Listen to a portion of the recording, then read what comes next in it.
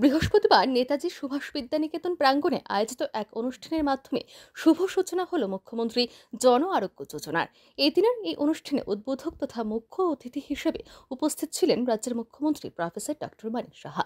উল্লেখ্য, ভারতবর্ষে আয়ুষ্মান ভারত তথা প্রধানমন্ত্রী জন আরোগ্য যোজনার মাধ্যমে দেশের বহু মানুষ উপকৃত হচ্ছেন।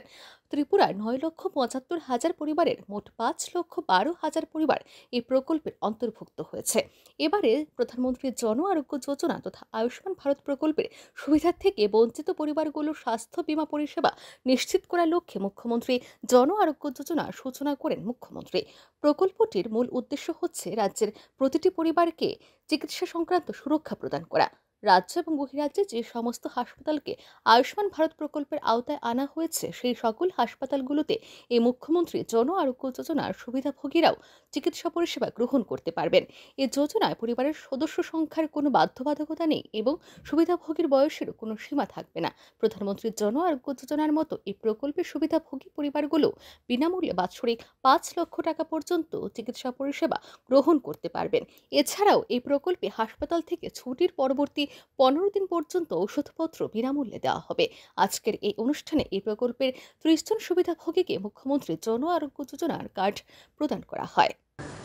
আমার কাছে প্রায়শ বিভিন্ন প্রান্ত থেকে ত্রিপুরার মানুষ আসে বিভিন্ন সমস্যা নিয়ে। এবং বেশিরভাগ ক্ষেত্রে আমি দেখেছি স্বাস্থ্যজনিত সমস্যা। মাঝে মাঝে চিফ মিনিস্টার যে আমার ফান্ড আছে সেখান থেকে দেওয়ার চেষ্টা করি, থাসপের থেকে ট্রাই করি, চেষ্টা করি।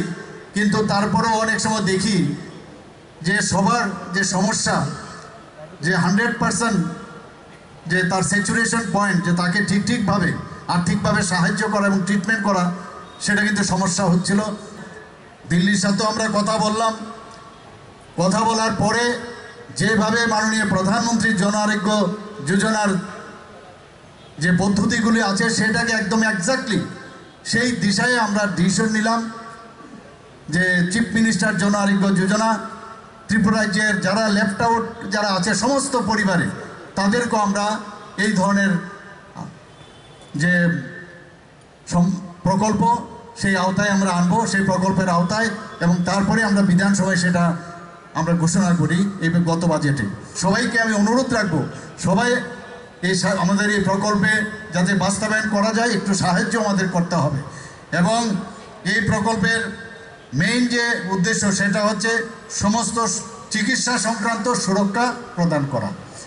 এই দিনের এই অনুষ্ঠানে অন্যান্যদের মধ্যে উপস্থিত ছিলেন রাজ্যের অর্থমন্ত্রী প্রণজিৎ সিংহ রায়, পর্যটন ও পরিবহন দপ্তরের মন্ত্রী সুশান্ত চৌধুরী, তপশিলী জাতি কল্যাণ দপ্তরের মন্ত্রী সুধাংশু দাস, যুব বিষয়ক ও ক্রীড়া দপ্তরের মন্ত্রী টিঙ্কু রায়, জনজাতি কল্যাণ দপ্তরের মন্ত্রী বিকাশ দেববর্মা, শিল্প বাণিজ্য দপ্তরের মন্ত্রী শান্তনা চাকমা, সমবায় দপ্তরের মন্ত্রী শুক্লাচরণ নোয়াতিয়া, আগরতলা পুর নিগমের মাননীয় মেয়র দীপক মজুমদার, বিশিষ্ট সমাজসেবী রাজীব ভট্টাচার্য, রাজ্যের মুখ্য সচিব জে কে সিনহা, রাজ্য স্বাস্থ্য পরিবার কল্যাণ কল্যাণ দপ্তরের সচিব কিরণ গিত্তে, ত্রিপুরা হেলথ প্রোটেকশন সোসাইটির সচিব তথা জাতীয় স্বাস্থ্য মিশন ত্রিপুরার অধিকর্তা ডি কে চাকমা সহ অন্যান্যরা। ব্যুরো রিপোর্ট, আর ই নিউজ।